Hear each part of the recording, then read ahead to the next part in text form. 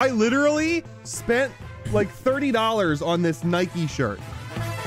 I have a Nike shirt on. This one, I thought you'd like this one. This one, it's one of the the minimalist embroidered ones, but it's the color of your sweatshirts. Which one? Like the, the pink? No, no, no the mint green ones. John, turn your camera on. Hi, Jack.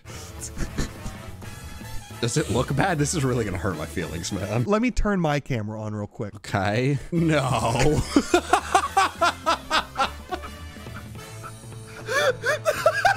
There's no way. This Weepinbell just threw, bro. He could have killed me.